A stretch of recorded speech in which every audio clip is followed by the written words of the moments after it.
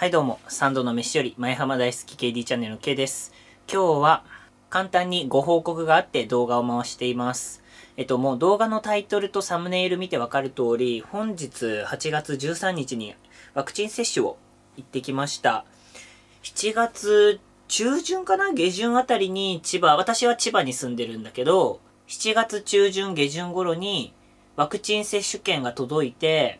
今回千葉県で病院探してみたんだけど、どこも予約が空いていないということで、東京駅の近くで実施している防衛省の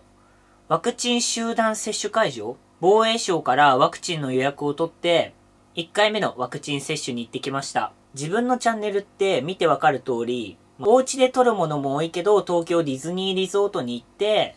屋外とかで撮影することもあったり、1年に何回かコラボ撮影とかもあったりするので、正直ワクチンに関しては、やっぱり打つ打たないって、副作用とかリスクもあるわけで、ワクチンを強要するのは絶対違うと思うんだけど、自分は正直、ワクチンって今もね、ちょっと左腕と左肩がすごく痛いんだけど、副作用っていうリスクもあるけど、いざコロナとかにかかった時に、重症化を防ぐためのワクチンだったり、ワクチンを打つことによって自分の身を守ることもできるし、自分がワクチンを打つことで周りとコラボ撮影とか人と触れ合う機会にワクチンを打っているだけでも、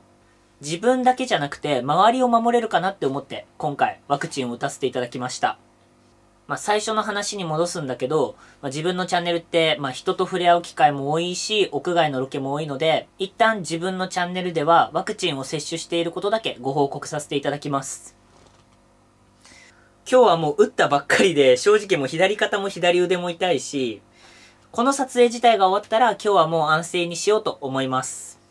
ワクチンを打ったことに対して報告するしないで、また KD チャンネルのイメージが変わるのかどうなのかわからないけど、同じお話だけど自分の身を守るためであり、他の方の身を守るのも含めて一旦チャンネルでご報告させていただきました。また明日からたくさん動画投稿していくので、夏休み駆け抜けましょうそれでは、バイバイ